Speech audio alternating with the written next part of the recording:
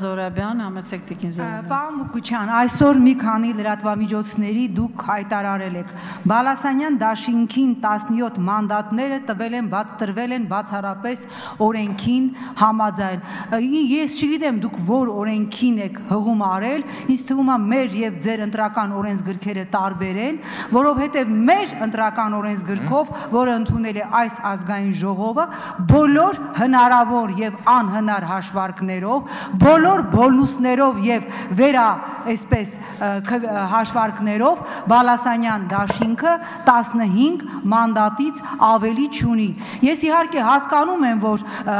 մաթեմատիկայի ոլորտում Նոբելյան մրցանակ առայժմ չկա եւ հանրապետական մեր գործընկերները փորձելով հիմնավորել ձեզ հետ միասին, որ Բալասանյան դաշինքը ունի 17 մանդատ, երևի հավակնում են լրացնել այդ բացը։ Խնդիր չկա, եթե ուրեմն նոր հալ ալեսներ են հայտնվել մաթեմատիկայի ոլորտում եւ կարող են հիմնավորել անհիմնավորելին, ես կհորդորեի դիմել Նոբելյան մրցանակի կոմիտե մաթեմատիկայի ոլորտում Նոբելյան մրցանակ հիմնելու, որովհետեւ բոլոր հնարավոր հաշվարկներով, հաշվի առնելով անգամ ձեր մատնանշած բոնուսային համակարգը Բալասանյան դաշինքը ունի 15 մանդատ, Բարգավաճ Հայաստանը 9 մանդատ, Հայկական վերածնունդը 5 մանդատ, Գալան 4 մանդատ։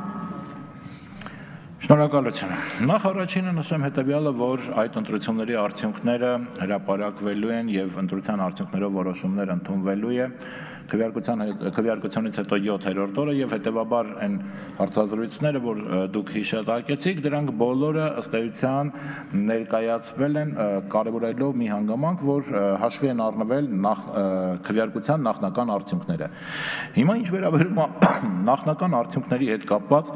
ձեր հիշատակած թվերը կոնկրետ 15 մանդատ, 9 մանդատ, 4 մանդատ, դա առանց բոնուսի էլ ստացվում է, այդտեղ ոչ մի բոնուս չկա։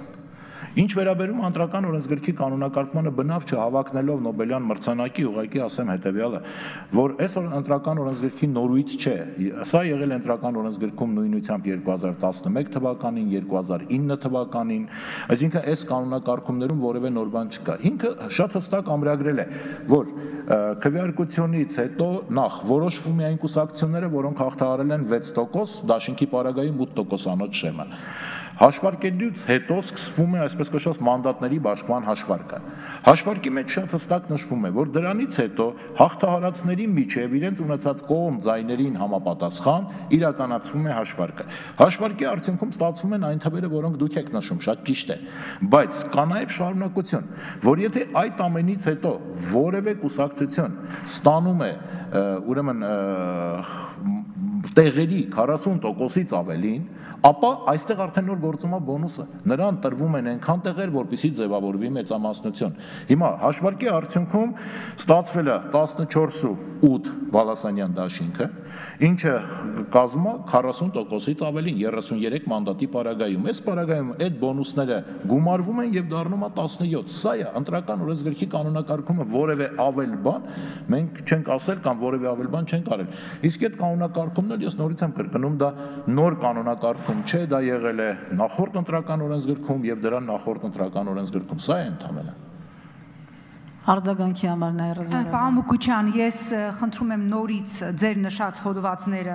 նորից 114 114 հոդվածը գիտեք ես հասկանում եմ որ ընտրական օրենսգրքի հեղինակները Դավիթ Հարությունյանը եւ Հրար Թովմասյանը կարող են հիմնավորել անգամ անհիմնավորելին այսպես հա ականներ դնելով ընտրական օրենսգրքի եւ սողանցքներ բայց բացարձակապես տրամաբանության մեջ չի տեղավորվում որ հանուն Բալասանյան դաշինքի 114-րդ հոդվածը սահմանի որ այնինչ քվե ունի Բարգավաճ Հայաստանը 9 դրանից մի հատ պետքա վերցնել տալ Բալասանյանին հայկական վերածնունդի 5-ից մեկը եւս պետքա վերցնել տալ Բալասանյանին։ Ես կրկնում եմ, ես չգիտեմ դուք որ ընտրական օրենսգրքով եք առաջնորդվում, մեր ընտրական օրենսգրքով անգամ բոնուսային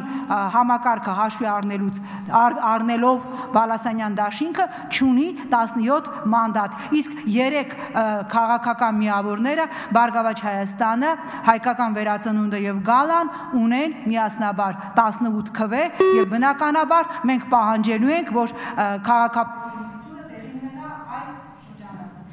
Երկրորդ մասով իհարկե քաղաքական ուժերի իրավունքն է, այստեղ որևէ բան ավելացնել չեմ կարող, դա քաղաքական ուժերի իրավունքն է, ինչպես ցանկանան, այնպես պետք է իրացնեն։ Իսկ առաջին մասով ես նշեցի, որ դա Հայաստանի Հանրապետության ընտրական օրենսգրքի 114-րդ հոդվածն է, որով հստակ ամրագրված է 4-րդ եւ 5-րդ մասերում։ Իդեք 5-րդ մասը ուղակի հղում կատարելով 4-րդ մասին նշվում է 4-րդ մասով հաշվարկից հետո տրամադրվում է այդ բոնուսը։ Սա է։ Հիմա բոլորովին այլ խնդիր է այդ բոնուսը ցանկալի է, ցանկալի չէ, ընդունելի է, ընդունելի չէ։ Դա մեր անգամ քննարկման տիրույթի խնդիրեր չէ։ Կա ընտրական օրենսգիր կիրառվում է դրա դրույթը այնպես ինչպես ամրագրված է։ Շնորհակալություն։